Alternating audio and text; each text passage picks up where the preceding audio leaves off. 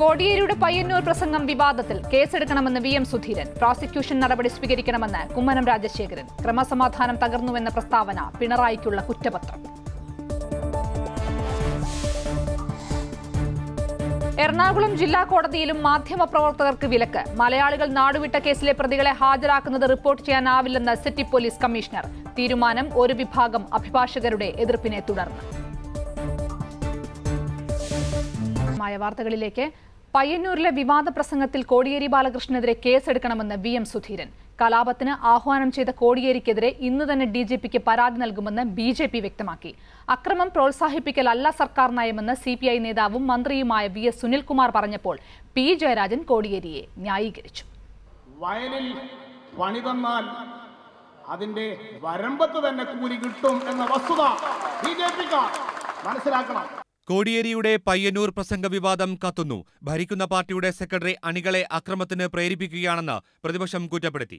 യഥാർത്ഥത്തിൽ സ്വന്തം അണികളെ കലാപത്തിലേക്കാണ് അദ്ദേഹം ആഹ്വാനം ചെയ്തിട്ടുള്ളത്. ബി ജെ പിയും കോടിയേരിക്കെതിരെ നിയമ നടപടി ആവശ്യപ്പെട്ടു. പോലീസിനെ പാർട്ടിയുടെ വരുതിയിലാക്കാനാണ് കോടിയേരിയുടെ ശ്രമമെന്നാണ് ബി ജെ പി വിമർശനം. പോലീസ് ആർ എസ് എസിന്റെ പക്ഷത്താണ് എന്ന കോടിയേരി ബാലകൃഷ്ണന്റെ പ്രഖ്യാപനം. അത് വാസ്തവത്തിൽ പിണറായി വിജയനോടുള്ള ഒരു വെല്ലുവിളിയും മുന്നറിയിപ്പുമാണ്. കെ സുധാകരനും R S P secretary A A അസീസും കോടിയേരിക്കെതിരെ രംഗത്തെത്തി. കോടിയേരിയുടെ പ്രസംഗത്തിൽ സി പി ഐക്കും അതൃപ്തിയുണ്ട്. ഞങ്ങൾ ഒരിക്കലും അക്രമത്തെ പ്രോത്സാഹിപ്പിക്കാൻ ഉദ്ദേശിക്കുന്നില്ല ഗവൺമെന്റ്. അത് വളരെ വ്യക്തമാണല്ലോ. അതേസമയം C P I M Kannur ജില്ലാ സെക്രട്ടറി പി ജയരാജൻ കോടിയേരിക്ക് പ്രതിരോധം തീർത്തു. പയ്യന്നൂരിൽ സഖാവ് കോടിയേരി നടത്തിയ പ്രസംഗം ഈ രാജ്യത്ത് ആർ എസ് എസ് വ്യാപകമായിട്ട് നടത്തുന്ന അക്രമങ്ങളെ പ്രതിരോധിക്കണം. എന്നതാണ് പറഞ്ഞിട്ടുള്ളത്. അതിലെന്താ തെറ്റുള്ളത്? കോടിയേരിക്കെതിരായ സുധീരന്റെ വിമർശനം ആർ എസ് എസിനെ സഹായിക്കാനാണെന്നും പി ജയരാജൻ ആരോപിച്ചു. വിവിധ ബ്യൂറോകൾക്കൊപ്പം ഏഷ്യാന ന്യൂസ് തിരുവനന്തപുരം. എറണാകുളം ജില്ലാ കോടതിയിൽ മാധ്യമപ്രവർത്തകർക്ക് വിലക്ക്. മലയാളികൾ നാടുവിട്ട സംഭവവുമായി ബന്ധപ്പെട്ട കേസിൽ മുംബൈയിൽ അറസ്റ്റിലായ പ്രതികളെ കോടതിയിൽ ഹാജരാക്കാനിരിക്കെയാണ് പോലീസ് കമ്മീഷണർ ഇക്കാര്യം അറിയിച്ചത്. സലാം പി ഹൈദ്രോസ് ചേരുന്നു. വിശദാംശങ്ങളുമായി സലാം. മാധ്യമപ്രവർത്തകരും അഭിഭാഷകരുമായുള്ള പ്രശ്നം ഇപ്പോഴും നിലനിൽക്കുന്നു എന്ന് വേണമോ മനസ്സിലാക്കാൻ എന്തൊക്കെയാണിന്ന് ജില്ലാ കോടതിയിൽ സംഭവിച്ചത്.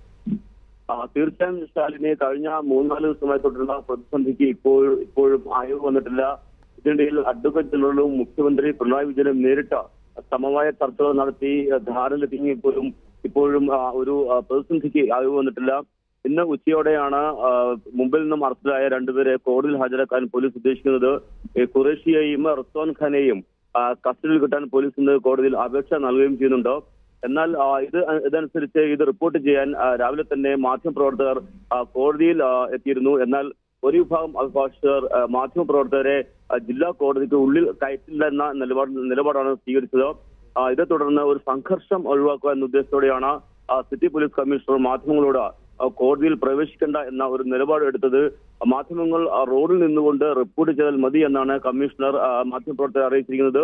ഉച്ചയ്ക്ക് ഒന്നരയോടെയാണ് രണ്ട് പ്രതികളെയും കൊണ്ട് പോലീസുകാർ കോടതിയിലെത്തുക ശാലിനി. ശരി സലാം.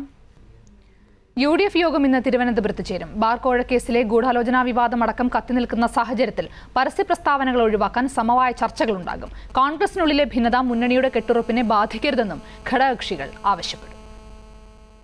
തിരഞ്ഞെടുപ്പ് അവലോകനമാണ് യു ഡി എഫ് യോഗ അജണ്ട. എന്നാൽ ബാർക്കോഴ കേസ് ഗൂഢാലോചനയാണെന്ന് ഉറപ്പിക്കുന്ന കേരള കോൺഗ്രസ് നേതാക്കൾ കോൺഗ്രസ് നേതാക്കൾക്കെതിരെ പരസ്യമായി രംഗത്തെത്തിയ സാഹചര്യത്തിൽ കൂടിയാണ് യോഗം ചേരുന്നത്. ഉമ്മൻചാണ്ടിക്കും പ്രതിപക്ഷ നേതാവ് രമേശ് ചെന്നിത്തലയ്ക്കുമെതിരെ മുഖപത്രമായ പ്രതിച്ഛായയിലൂടെ കേരള കോൺഗ്രസ് ആഞ്ഞടിച്ചിരുന്നു.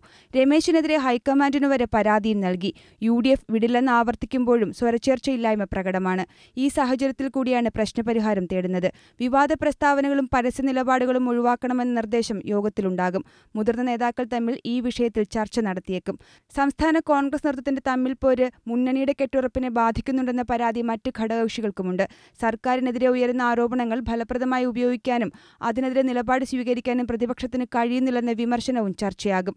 അടുത്ത മാസം യു ഡി എഫ് ജില്ലാ കൺവീനർമാർ പങ്കെടുക്കുന്ന വിപുലമായ യോഗം ചേരുന്നുണ്ട്. ഇതിനു മുൻപ് പ്രശ്നങ്ങൾ പറഞ്ഞു തീർക്കുകയാണ് ലക്ഷ്യം. ഇതിനൊപ്പം അതിരപ്പള്ളി പദ്ധതിയും ചർച്ചാ വിഷയമാകും. നേരത്തെ പദ്ധതി അനുകൂലിച്ച യു ആ നിലപാടിൽ വിട്ടുവീഴ്ച വരുത്തിയേക്കും.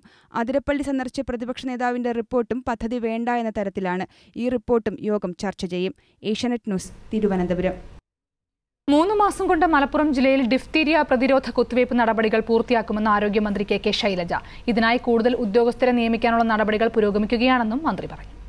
മൂന്ന് മാസം കൊണ്ട് നമുക്ക് മലപ്പുറം ജില്ലയിലെ മുഴുവൻ കുട്ടികൾക്കും പ്രതിരോധ കുത്തിവയ്പ്പ് കൊടുക്കാൻ സാധിക്കണം. അതിനുള്ള ആക്ഷൻ പ്ലാൻ ആരോഗ്യവകുപ്പ് തയ്യാറാക്കും. ചിട്ടയായി. അതിനെന്തെല്ലാം സംവിധാനം ഉപയോഗപ്പെടുത്താം. എനിക്ക് ജനസംഖ്യാനുപാതികമായിട്ട് വേണ്ടത്ര സ്റ്റാഫ് ഇല്ലാത്തൊരവസ്ഥയുണ്ട്. ഞങ്ങൾ കുറച്ചുകൂടി സ്റ്റാഫ് വീക്ഷണം ആളുകളെ പോസ്റ്റ് ചെയ്യുന്നതിനും ഒക്കെ ശ്രമിച്ചുകൊണ്ടിരിക്കുകയാണ്. അന്ധവിശ്വാസ ജടിലമായ സമൂഹത്തിന് ബുദ്ധിമുട്ടുണ്ടാക്കുന്ന കാര്യങ്ങൾ പ്രചരിപ്പിക്കുന്നത് കുറ്റ കുറ്റകരമാണ് ശിക്ഷാർഹമാണ്. നിലവിലുള്ള നിയമങ്ങളുടെ പരിധിയിൽ വെച്ചുകൊണ്ട് തന്നെ ആ കുറ്റകൃത്യങ്ങളെ നമുക്ക് തടയാൻ സാധിക്കും. സാമ്പത്തിക വിദഗ്ധനായ ധനമന്ത്രി തോമസ് ഐസക്കിനെ മുഖ്യമന്ത്രി പിണറായി വിജയന് വിശ്വാസമില്ലെന്ന് കെ പി സി സി അധ്യക്ഷൻ വി എം സുധീരൻ. മുഖ്യമന്ത്രിയുടെ സാമ്പത്തിക ഉപദേഷ്ടാവായി ഗീതാ ഗോപിനാഥിന്റെ നിയമനം ഇതിനുള്ള തെളിവാണ്. നിയമോപദേഷ്ടാക്കളുടെ നിയമനത്തിലെങ്കിലും നേരെ ചൊവ്വേ തീരുമാനമെടുക്കാൻ മുഖ്യമന്ത്രി തയ്യാറാവണമെന്നും സുധീരൻ ആവശ്യപ്പെട്ടു. നികുതി വർധനയടക്കം സംസ്ഥാന ബജറ്റിലെ ജനവിരുദ്ധ നയങ്ങളിൽ പ്രതിഷേധിച്ച് കോൺഗ്രസ് സംഘടിപ്പിച്ച സെക്രട്ടേറിയറ്റ് മാർച്ച് ഉദ്ഘാടനം ചെയ്യുകയായിരുന്നു സുധീരൻ. തിരുവിതാംകൂർ ദേവസ്വം ബോർഡിന് കീഴിൽ എല്ലാ ക്ഷേത്രങ്ങളിലും മതപാഠശാലകൾ തുടങ്ങുമെന്ന് തിരുവിതാംകൂർ ദേവസ്വം ബോർഡ് പ്രസിഡന്റ് പ്രയാർ ഗോപാലകൃഷ്ണൻ. ക്ഷേത്രം ഉപദേശക സമിതിയിൽ വരുന്നവരുടെ മക്കൾ ഈ ക്ലാസുകളിൽ പങ്കെടുക്കുന്നുണ്ടെന്ന് ഉറപ്പാക്കണം. ശബരിമലയിലെ സ്ത്രീ പ്രവേശന കാര്യത്തിൽ ആചാരാനുഷ്ഠാനങ്ങളിൽ വിട്ടുവീഴ്ചയില്ലെന്നും പ്രയാർ ഗോപാലകൃഷ്ണൻ തിരുവനന്തപുരത്ത് പറഞ്ഞു.